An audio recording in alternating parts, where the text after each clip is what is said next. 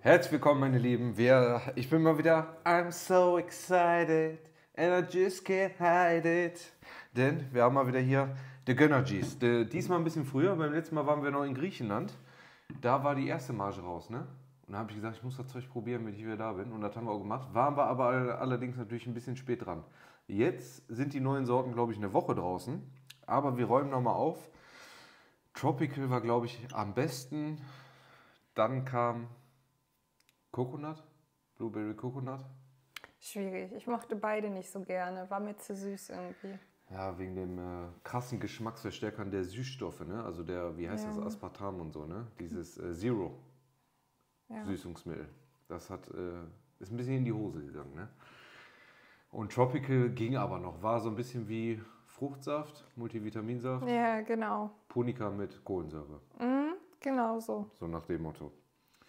Und jetzt hoffen wir natürlich, also wir haben wieder dreimal mit Zero, nichts mit Zucker, was ja eigentlich äh, heutzutage gang und gäbe ist, weil man ja eigentlich auf Zucker verzichten möchte. Man weiß natürlich nicht, was jetzt gesünder ist, ne? ob jetzt tatsächlich Zucker gesünder wäre oder ob Süßungsstoffe das gesündere sind. Das entschließt sich jetzt hier natürlich total unserer Kenntnis, aber wir sind natürlich bestens vorbereitet hier. Natürlich alle Getränke diesmal gekühlt und jetzt hier auch mit ähm, Eiswürfeln. On the rocks. Und ich würde sagen, wir haben White Peach. White Peach fülle ich mal zuerst ein, weil da bin ich, das geht natürlich so in Richtung Eistee, würde ich jetzt mal behaupten. Da bin ich sehr, sehr, sehr gespannt. White Peach spricht mich geschmacklich auch auf jeden Fall an. Dann haben wir Sweet Lemon. Müssen wir mal schauen. Das sagt mir jetzt, es ist schon ein bisschen Geruch hier äh, in meine Nasenrichtung gekommen. Ist vielleicht wie Sprite. Könnte in die Richtung gehen. So Willst du, sieht es auf jeden Fall aus. Ein bisschen gelblicher. Auf jeden Fall. willst du einen Cut drin haben? Nö, ich will keinen Cut drin haben. Und dann haben wir noch Juneberry, Juneberry Jam. Ui. G steht für G. Und das ist die Sorte, die mich persönlich hier am krassesten, wirklich von allen sechs, die bis jetzt rausgekommen sind, erhoffe ich mir von der hier am meisten. Ich finde, das sieht auch, also das sieht optisch ultra cool aus. Findest du Die nicht auch? Farbe ist mega, ja. Ich komme mal ein bisschen näher. Ja, du kannst auch reinzoomen und so, ne? Also ich finde Das optisch am besten bis jetzt. Von dem erhoffe ich mir wirklich hier am meisten. Wo waren wir letztes Mal nochmal beim Tasting? Beim Rating waren wir so, glaube ich, bei 5 bis 6. Ich hatte noch ein bisschen höher gegeben, Cheesecake und Coconut als du. Da waren die bei dir ja komplett raus. Ja. Und Tropical hast du auch ein bisschen besser eingestuft, aber habe ich so gesagt, ist schon so eine 7,5. Aber ich war ein bisschen großzügiger, glaube ich. Das war schon, ja. Ich fand es schon- schon sehr gut. Du fandst sehr großzügig, was Ja. ich ge gewertet habe. Umso gespannter bin ich natürlich heute. Wir werden auch wieder beide tasten, damit wir. Aber ich glaube, ich würde mit dem schwächsten Geschmack anfangen, den ich für mich vom Gefühl her einschätze. Und das ist hier Sweet Lemon. Ich bin jetzt immer wieder aufgeregt.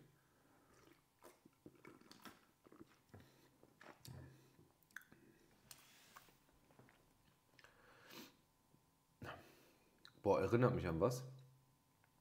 Es schmeckt aber genau das, was man liest, geschmacklich. Auf jeden Fall auch wieder eine süße Note. Ich schmecke Zitrone raus. Aber woran erinnert mich das? Irgendwo dran erinnert mich dieser Geschmack.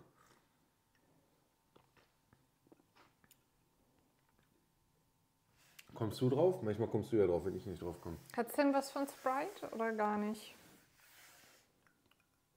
Ja, aber süßer. Süßer als Sprite. Ja. Viel süßer. Mhm. Das ist auch schon wieder nichts für dich, ne? Wenig Säure drin. Das finde ich schade. Ich glaube, es ist mir auch ein Ticken zu süß. Schmeckt irgendwie einfach. Es schmeckt, schmeckt so wie so eine Vitamintablette, Mhm. die man im Wasser auflöst. Ja. Also den würde ich jetzt wieder so geschmacklich schon so zu den anderen Coconut und äh, Cheesecake hinstellen, weil der auch Ja. so krass süß ist. Ja. Es muss nicht so süß sein, ne? Man könnte ruhig diese. Zumindest irgendwie ein bisschen was säuremäßig mit reinpacken. Das wäre cool. So, White Peach, von dem ich mir jetzt viele hoffe.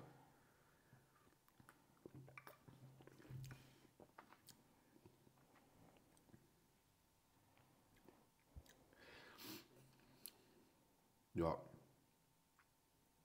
Aber auch, boah, also die ganze Zunge ist wie so ein, als hättest du so eine Zuckerdecke auf der Zunge.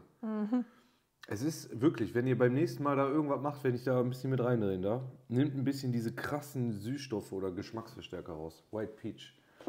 Hat aber auch einen Ticken was von Tropical. Geht wieder so ein bisschen Richtung Tropical, aber man schmeckt auf jeden Fall den, den White Peach Aspekt. Schmeckt wie Pfirsichringe. Ah, Pfirsichringe. Krass. Pfirsichringe. Ja. Das ist ein gutes Beispiel genannt. Eins zu eins Pfirsichringe. Krass.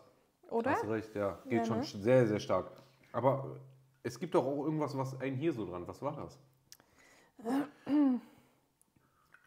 Müsste ich nochmal probieren. Obwohl für mich war es wirklich, glaube ich, so eine, so eine Tablette A bis Z. Ja. Also White Peach auf jeden Fall besser als Ja, besser, aber auch Sweet nicht Lemon. gut. auch nicht gut, ne? nee, Ist nicht so, dass man sich das jetzt krass einwegsaugen Ja. könnte, ne? weil guck mal, ich finde, bei Pfirsichringen hast du so die Süße, aber auch so ein bisschen sauer sind die ja immer, ne? Und da hast du nur dieses Süße. Es ist too much, ne? Ja. Es wie gesagt, es muss nicht so süß sein. Es ist doch geiler, wenn es erfrischender ist. So ein bisschen so auf natürliche Art und Weise. Weißt du, wie so Mhm. eine Apfelschorle zum Beispiel, so eine Bio-Apfelschorle. Ja, geil, Die ne? knallst du dir ja, Ja. so weg, die ist ja total erfrischend und auch isotonisch. Gesund, ne? Trotz Zucker. Ja. Nach dem Sport. Nach dem Sport auf jeden Fall in Maßen. Es ist gesund und isotonisch, wirkt isotonisch. Der Körper kann das Zucker direkt umgenerieren, den Glukosespeicher wieder auffüllen. Und aber das ist ja das, weiß ich nicht. Aber kommen wir jetzt. Jetzt bin ich gespannt. Also es sieht ultra geil aus. Also ich muss wirklich sagen, guck mal, wie der Eiswürfel da drin aussieht. Geil. So kristallig, siehst du Ja. das? Also es sieht cr richtig crazy aus. Gucken, ob es auch so schmeckt.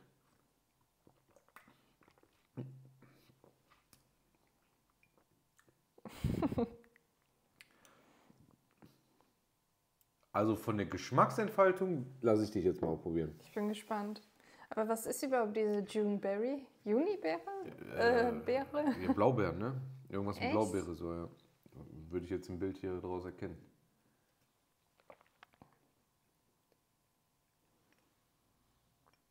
Also dann nimmt es auf jeden Fall zweimal dran. Das ist schon mal ein Zeichen vielleicht. Ich musste das jetzt nochmal. Aber hast du auch diese, mir ging so ein Geschmackszyklus durch den Kopf. Das war total crazy. Hast du das gemerkt? Ja, ich habe es ich hab's bei dir gesehen. Bei mir, also es schmeckt auf alle Fälle am besten von allen Sorten.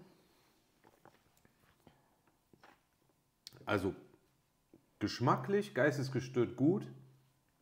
Du trinkst es und durch die Zunge, durch die Synapsen merkst du richtig, wie diese Botenstoffe gesendet werden von diesem Geschmack. Das ist komplett geistesgestört. Wirklich, das ist krank. Ja, ich, ich würde es genauso beschreiben. Du trinkst es, die Zunge nimmt es auf und dann merkst du so im Kopf so diese ja, Frucht einfach, ne? Aber ist das Blaubeer? Nee, Blueberry ist Blaubeere. Was ist das dann? Heidelbeere? Juneberry. Na, Heidelbeere ist ja eigentlich auch eine Blau. Was ist denn Ist Juneberry? doch auch Blaubeere. Ich weiß nicht, was Juneberry ist. Jetzt kein Scherz, ich muss jetzt googeln. Mach das mal. Was ist Juneberry?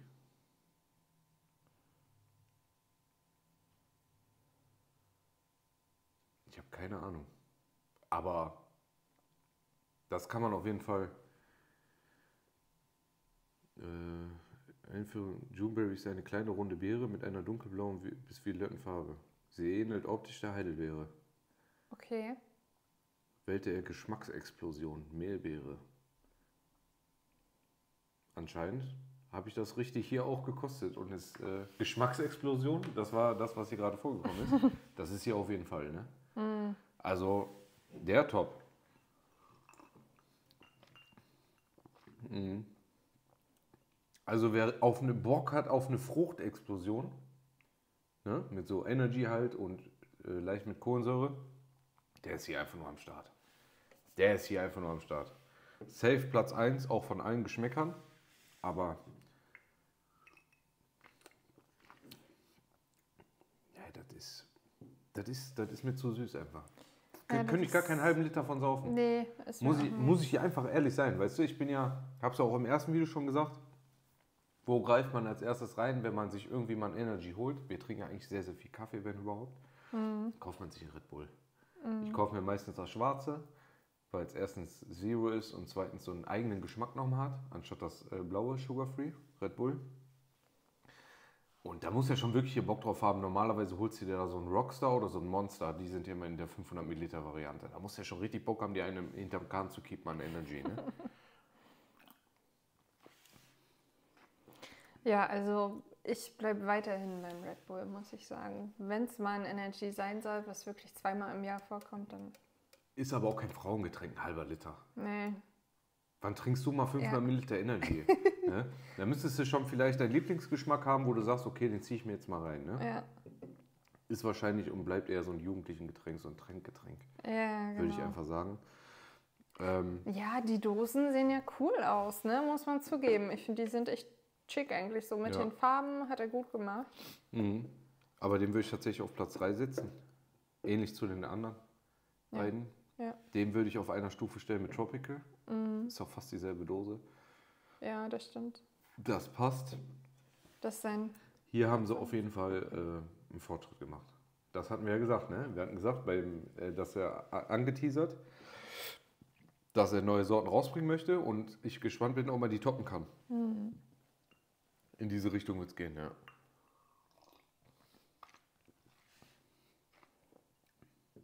Ja, muss man einfach sagen. Lasst mir gerne eure Resonanz in den Kommentaren da.